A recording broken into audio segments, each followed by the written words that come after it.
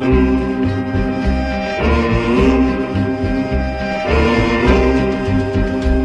the southern part of Texas, near the town of San Antone, stands a fortress all in ruins that the weeds have overgrown.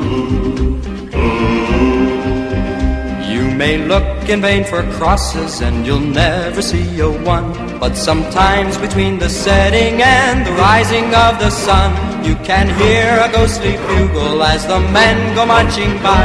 You can hear them as they answer to the roll call in the sky.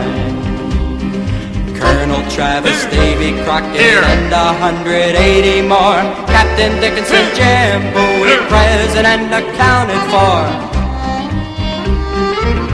In 1836, Houston said to Travis, Get some volunteers and go fortify the Alamo. Well, the men came from Texas and from old Tennessee, and with them came young Smitty just to fight for the right to be free.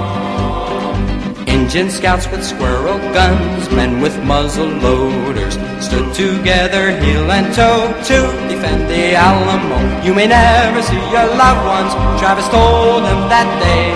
Those who want to can leave now, those who fight to the death, let them stay. 185 brave men holding back 5,000. Five days, six days, eight days, ten. Travis held and held again. Then he sent for replacements for his wounded and his lame. But the troops that were coming never came, never came, never came.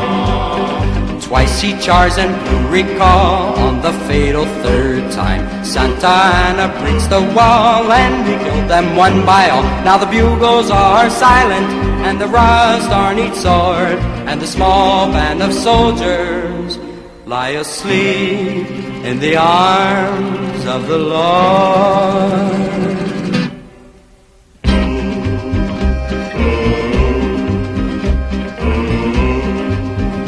In the southern part of Texas, near the town of San Antonio, stands a fortress all in ruins that the weeds have overgrown.